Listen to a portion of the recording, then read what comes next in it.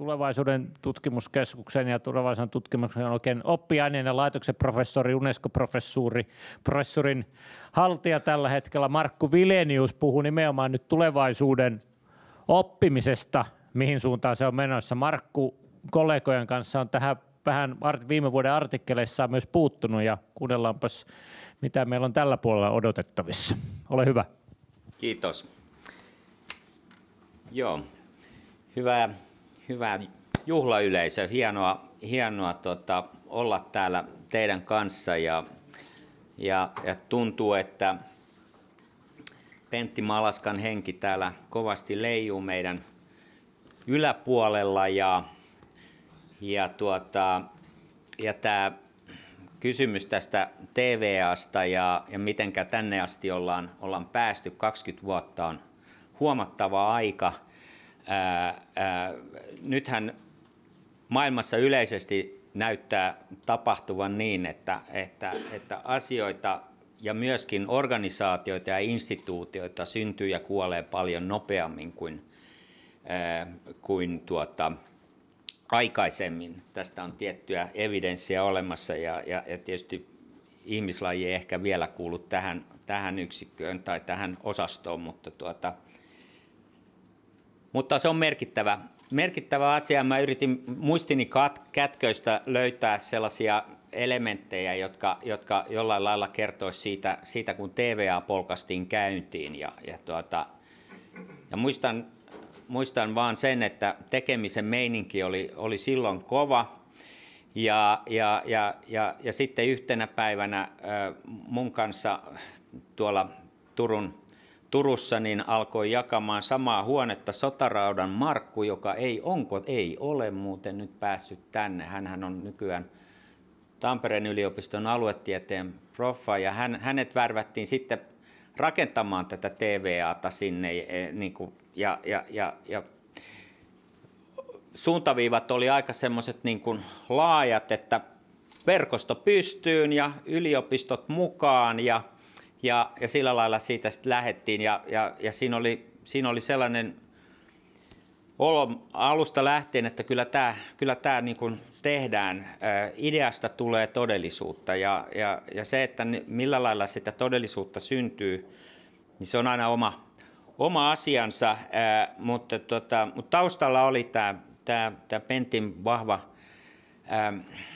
ajatus siitä, että, että jos halutaan ää, tämmöisen pienen yksikön, joka, joka, joka silloin oli huomattavasti pienempi kuin mikä meillä tänä päivänä on tämä meidän, meidän tulevaisuuden tutkimuskeskus, niin se pitää tehdä jollain sellaisella tavalla, joka, joka ei vaan sopeudu niihin vanhoihin institutionaalisiin malleihin, vaan, vaan se tehdään uudella tavalla. Ja sitten kun TVA oikeasti syntyi, niin sehän oli Suomessa nimenomaan edelläkävijä tällaisen verkostomaisen toimintamallin ää, ää, ää, niin kuin osoittajana. Ja, ja, ja, ja sehän oli se nerokkuus, joka sinne tähän TVAhan alun perin oli, oli rakentunut. Ja sitä on sitten jatkettu ja, ja, ja siellä on paljon vahvoja henkilöitä. Nämä on kuitenkin lopulta aina asioita, jotka ihmiset omalla toiminnallaan saa aikaan ja, ja, ja, ja meillä on paljon henkilöitä, jotka on toiminut sitten TVAn ytimessä.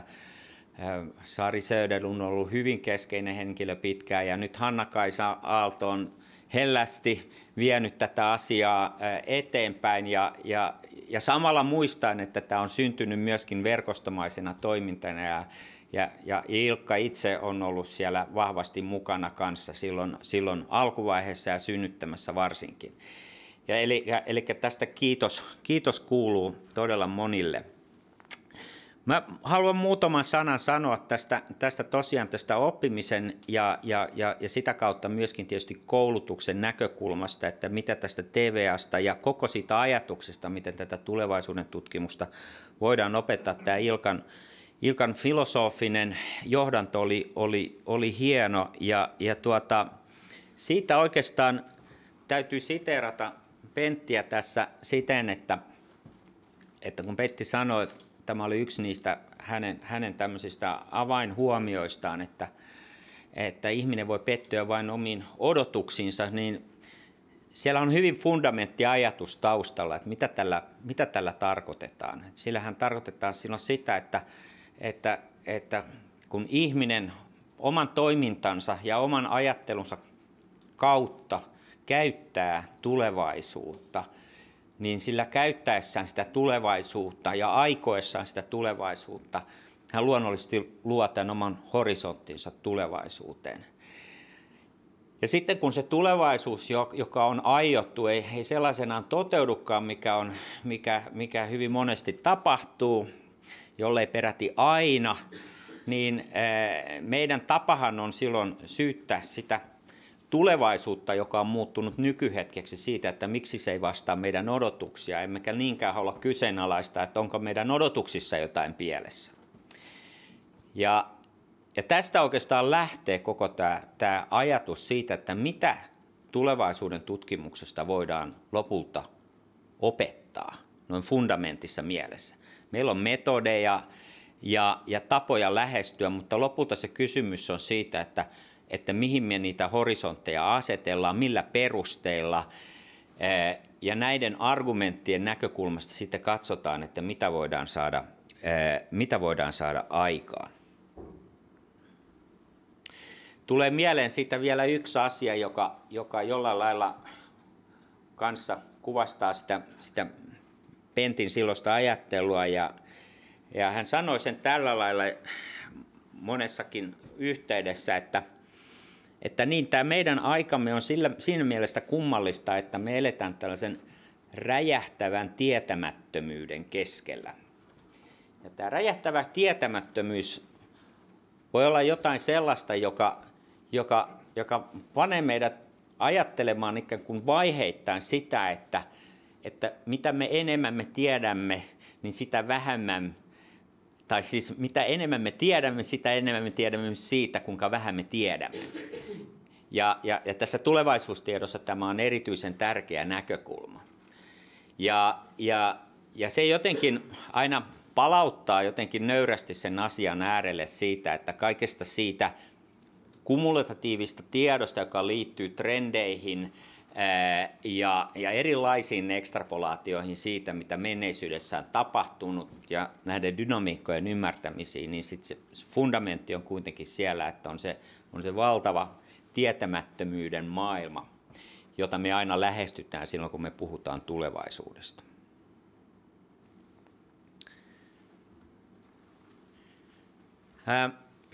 Me ollaan tässä Unesco Unesco-hankkeessa ja täällä on tuota Laura Pourukin jossain. Laura nostelee siellä vienosti kättään.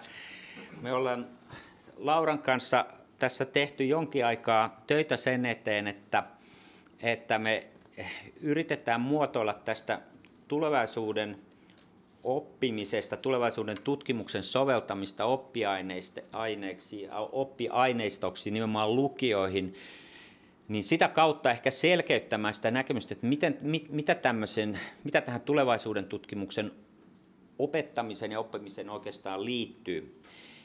Ja me ollaan jollain lailla tultu siihen, että, että jos, jos, jos kokonaisuutena ajatellaan sitä, että, että, että mitä me opetamme siitä, on, on toisaalta se, että onko sitä nyt riippumatta siitä niin kuin tavallaan kognitiivisesta tietopohjasta – niin, niin se asenne sinne tulevaisuuteen on aina se, joka jollain tavalla määrää sitä, että mihin asioihin me tartutaan ja miten se tulevaisuus ohjaa sitä meidän nykyistä toimintaa.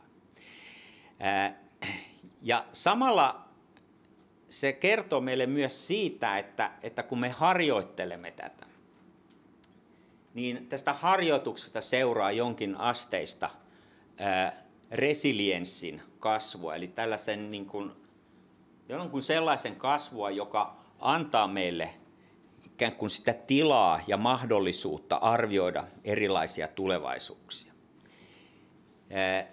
Ja jos tästä, tästä näkökulmasta katsotaan sitä, sitä itse oppimista ja sen, sen oppimisen mahdollisuuksia, niin, niin meillä on asioita, jotka keskeisesti liittyy sen yksilön kunkin yksilön kehitykseen ja kykyyn ymmärtää oman kehityksensä ehtoja.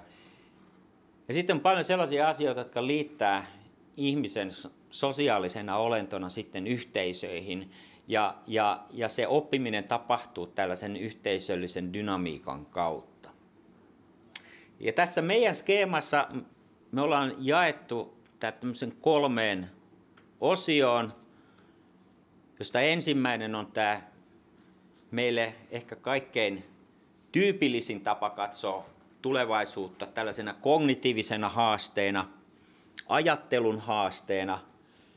Ja siellä ehkä se asia, joka, joka sitten niin kuin yhdistää sen, sen, sen kognitiivisen haasteen, on, on se, että, että miten me enemmän kokonaisvaltaisella tavalla luovuutta ja sanoa, kriittisyyttä soveltaen voitaisiin muodostaa semmoisia kognitiivisia, kognitiivisia kuvia tulevaisuudesta, jotka, jotka auttavat ihmistä ehkä nimenomaan siinä, että miten he itse pystyvät asemoimaan itsensä maailmassa. Meistä jokainen, mutta ehkä varsinkin siinä vaiheessa, kun ollaan vielä, vielä tuota, kasvuvaiheessa, intensiivisemmässä kasvun, ehkä me kasvetaan koko elämämme ajan, mutta ehkä se on vähän intensiivisempää siellä, siellä nuorella ajalla, niin, niin se kysymys tästä maailman ja minän välisestä suhteesta on kuitenkin se, joka, joka hyvin vahvasti määrittää sitä, että, että, että millä lailla me e, löydetään tavallaan ne omat voimavaramme suhteessa siihen, mitä, mitä maailma meille heijastaa.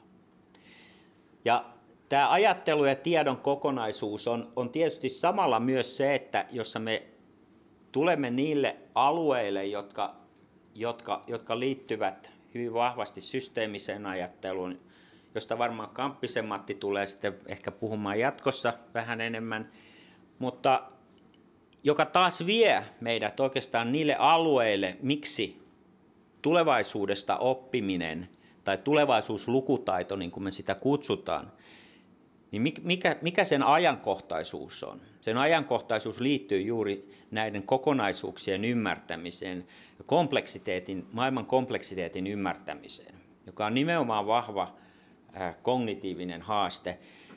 Ja ihan kun konkreettisesti katsoo, että mitä, mitä esimerkiksi lukioissa tällä hetkellä, lukion, lukiossa, lukioon tehdään tällaista uutta suunnitelmaa Suomessa ja siellä näkee nyt tässä viimeisimmässä versiossa jo hyvin vahvasti sen, että kuinka siellä haetaan näiden oppiaineiden ylittäviä kokonaisuuksia.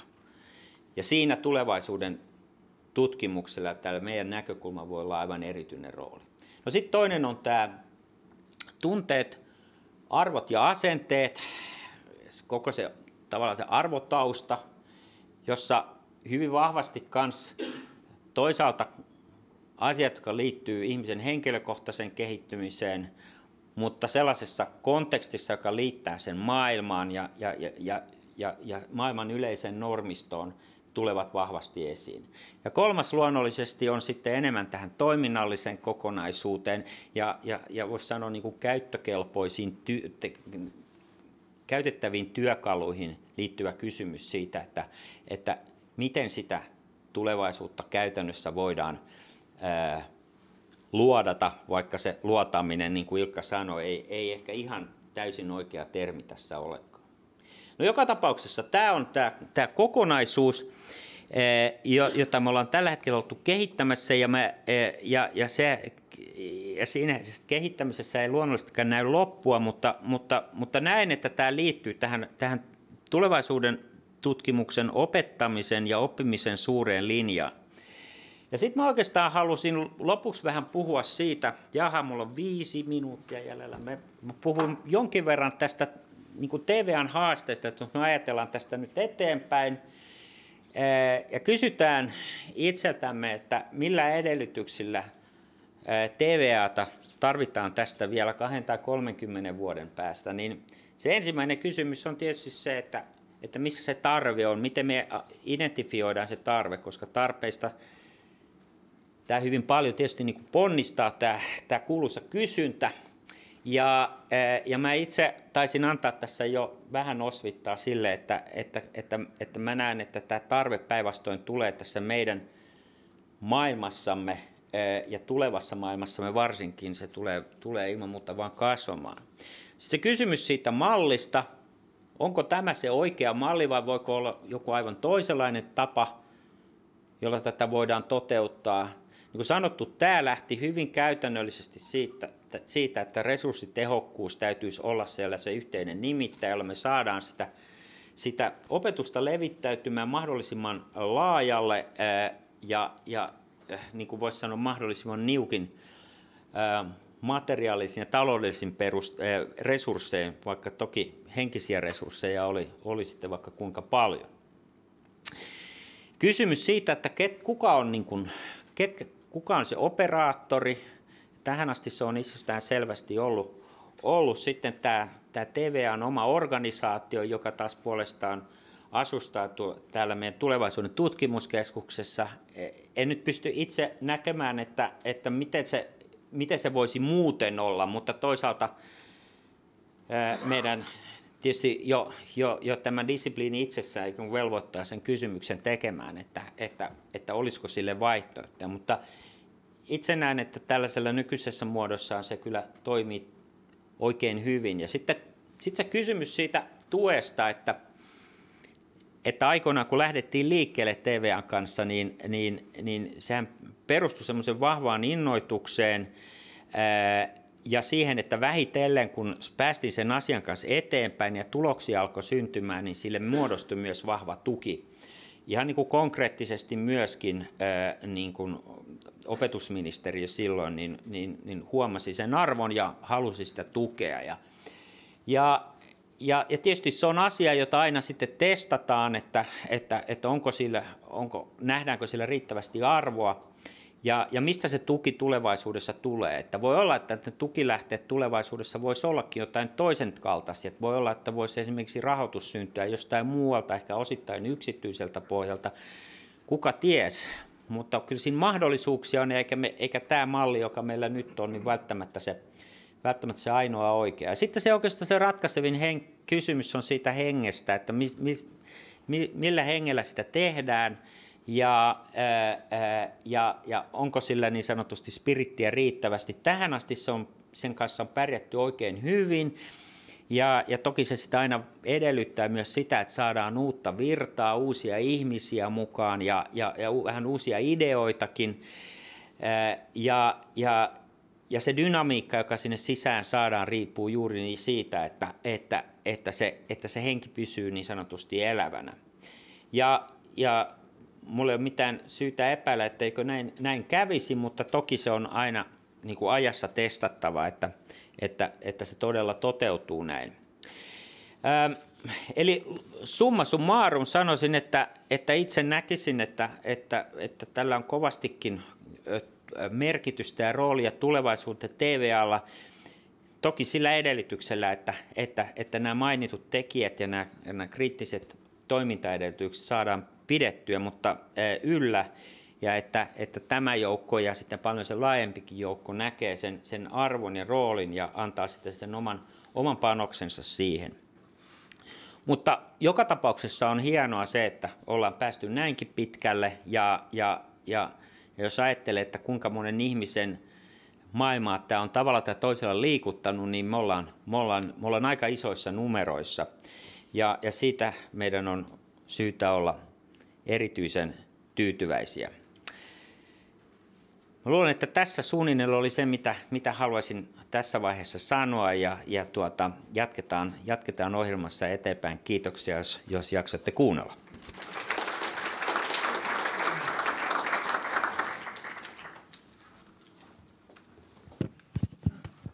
No niin, ihan lyhyt kommentti voidaan ottaa tähän väliin ennen kuin vaihdetaan. Joo, Petri Kyllänen. Tota, äh, tähän sun tiedot ja ajattelujakoon, niin musta tulevaisuuden tutkimuksessa on erityisesti jäänyt aika paljon paitsi on ymmärtämys siitä, että tulevaisuuden tutkimus on eri, erittäin poliittista ja sitä kautta arvot ja maailmankuvat sotkeutuu jokaiseen mallintamiseen ja kaikkeen, mitä me käytetään asioissa. Et sitä mun mielestä kannattaisi korostaa enemmän vielä, että, että tota, ottaa maailmankuvat ja poliittisuuden asioihin myös mukaan. Haluatko Markku no joo. lyhyesti kommentoida? Joo, hyvä, hyvä pointti. Poliittinen on aika vahva sana, en mä sanoisin niin kuin yhteiskunnallista, mutta se tarkoittaa varmaan suunnilleen samaa asiaa. Ja, ja, ja, ja on tietysti totta, että meidän on vaikea kuvitella, että, että, että me tehdään ylipäänsä yhtään ää, vakavaa yritystä ymmärtää tulevaisuutta, jos ei, jos ei siellä taustalla ole jonkinlainen, jonkinlainen tapa ymmärtää, että, että, että minkä tyyppisiin ää, eettisiin tai, tai voisi sanoa niin kuin tässä sinun ää, kontekstissasi poliittisiin valintoihin se perustuu. Ja, ja on varmasti totta, että se on osa tästä, tätä kysymystä siitä, että miten tässä tullaan enemmän hereiseksi ja, ja ymmärretään kuinka paljon enemmän kuin pelkästään kysymys erilaisista metodeista tämä, tämä tulevaisuuden tutkimus ja sen, sen, sen, sen oppiminen oikeastaan on. Kiitos.